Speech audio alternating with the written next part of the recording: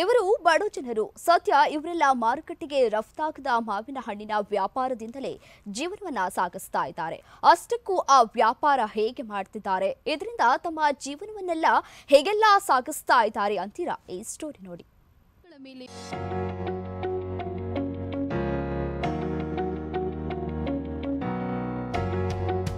ಹೀಗೆ ಕತ್ತರಿಸಿರೋ ಮಾವನ್ನ ಟಾರ್ಪಲ್ಗೆ ಹಾಕಿ ರಸ್ತೆಗಳ ಮೇಲೆ ಬಿಸಿಲಿಗೆ ಒಣಗಲು ಹಾಕಿರೋ ಸಾಲು ಸಾಲು ದೃಶ್ಯಗಳು ಮತ್ತೊಂದೆಡೆ ಮಾವಿನಕಾಯಿಗಳ ಕತ್ತರಿಸುವಲ್ಲಿ ನಿರತರಾಗಿರುವ ಜನರು.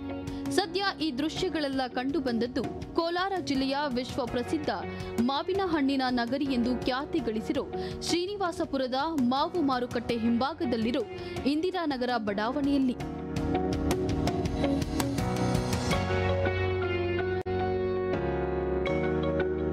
ಹೌದು. ಮಾವು ಸುಗ್ಗಿ ಆರಂಭ ಆಗ್ತಿದ್ದಂತೆ ಎಪಿಎಂಸಿ ಮಾರುಕಟ್ಟೆಗೆ ನಿತ್ಯ ನೂರಾರು ಟನ್ನು ಮಾವು ಅವಶ್ಯಕವಾಗಿರುತ್ತದೆ. ಆದರೆ ಎಲ್ಲ ಮಾವಿನ ಕಾಯಿಗಳು ಹೊರ ರಾಜ್ಯಗಳಿಗೆ ರಫ್ತು ಮಾಡಲು ಸಾಧ್ಯವಾಗಲ್ಲ. ಕಾರಣ ಮಾವು ಒಂದು ಚೂರು ಹಣ್ಣಾಗಿದ್ರು ಮತ್ತು ಕಾಯಿಯ ಮೇಲೆ ಮಚ್ಚೆ ಇದ್ರೂ ದಳ್ಳಾಳಿಗಳು ಕೊಳ್ಳುವುದಿಲ್ಲ.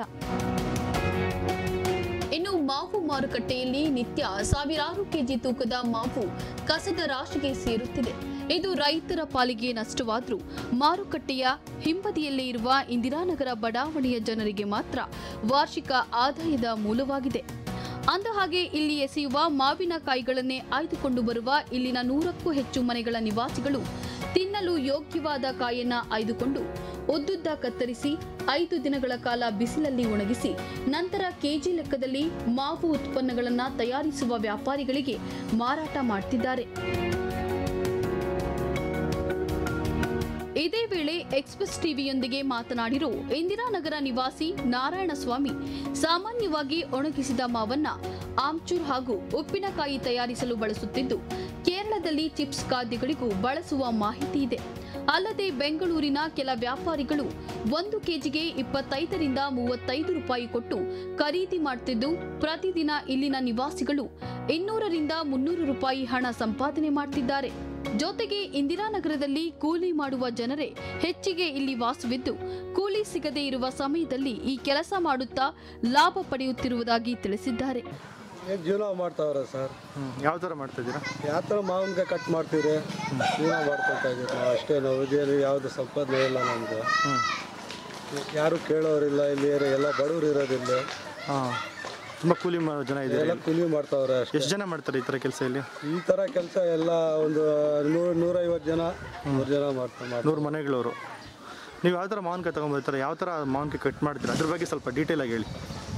ಅದೇ ಮಾವಿನಕಾಯಿ ಕಟ್ ಮಾಡ್ತೀರಾ ಮಾವಿನಕಾಯಿ ಎಲ್ಲಿ ತೊಗೊಂಬರ್ತೀರಾ? ಮಾರ್ಕೆಟಲ್ಲಿ. ಹೆಂಗೆ ಕೊಂಡ್ಕೊಂಡು ತೊಗೊಂಬರ್ತೀರಾ ಇಲ್ಲ ಇಲ್ಲ ಇಲ್ಲ ಇಲ್ಲ. ಆಚೆ ಹಾಕಿರ್ತಾರೆ ಎತ್ಕೊಂಡ್ ಬರ್ತಿರ್ತಾವೆ ಕಟ್ ಮಾಡ್ಕೊಳ್ತೀರಿ. ಇದ್ರಿಗೆ ಹಾಕ್ತೀರಿ ಇದಲ್ಲದೆ ಮಾವು ಸುಗ್ಗಿ ವೇಳೆಯಲ್ಲಿ ಅಕಾಲಿಕ ಮಳೆಯಿಂದಾಗಿ ಉದುರಿದ ಮಾವನ್ನ ಒಂದು ಕೆಜಿಗೆ ಎರಡು ರೂಪಾಯಿ ಕೊಟ್ಟು ಕೊಂಡುಕೊಳ್ಳುವ ಇವರಿಗೆ ಮಾವಿಗೆ ಹೆಚ್ಚಿನ ಬೆಲೆ ಇದ್ರೆ ಉಚಿತವಾಗಿ ಮಾವು ಸಿಗುವುದಿಲ್ಲ. ಹೀಗಾಗಿ ಬೇಡಿಕೆ ಕುಸಿದು ಬೆಲೆ ಕಡಿಮೆ ಇರುವ ಸಮಯದಲ್ಲಿ ಹೆಚ್ಚೆಚ್ಚು ಕಾಯಿ ಕತ್ತರಿಸಿ ಒಣಗಿಸಿ ಇರಿಸಿಕೊಂಡು ವರ್ಷವಿಡೀ ಮಾರಾಟ ಮಾಡ್ತಿದ್ದಾರೆ. ಒಟ್ಟಿನಲ್ಲಿ ಕಸದಿಂದಲೇ ರಸ ತೆಗೆಯುತ್ತಿರುವ ಶ್ರೀನಿವಾಸಪುರದ ಇಂದಿರಾನಗರ ನಿವಾಸಿಗಳು ಅನುಪಯುಕ್ತ ಮಾವಿನಿಂದಲೇ ಜೀವನ ನಡೆಸುತ್ತಾ ಇತರರಿಗೂ ಮಾದರಿಯಾಗಿದ್ದಾರೆ.